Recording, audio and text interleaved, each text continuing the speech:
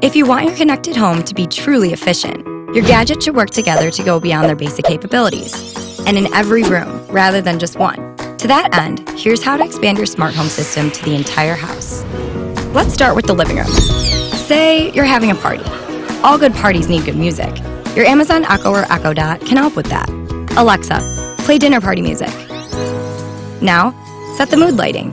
Philips Hue has 16 million color choices, so you can find the perfect one. There are also a few preset color scenes to choose from, allowing you to set your lights to resemble a tropical beach or a sunset. Or you can sync your Philips Hue with the music.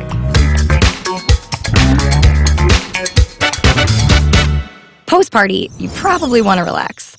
Set your Philips Hue to match your sleep schedule simply by hitting the Go to Sleep button. Before bed, your lights will gradually dim and eventually turn off. Then ask your Google Home to play ambient noise by saying, Hey Google, help me relax.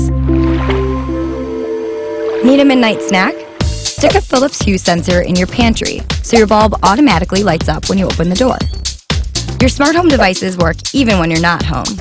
Set up your Philips Hue so it resembles light coming from a television when it's on to help keep intruders out.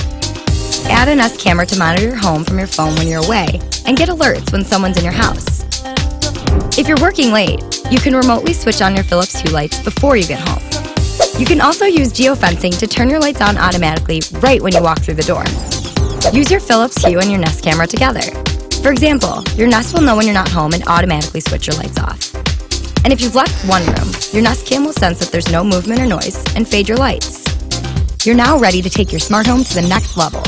Welcome to seamless control and creativity.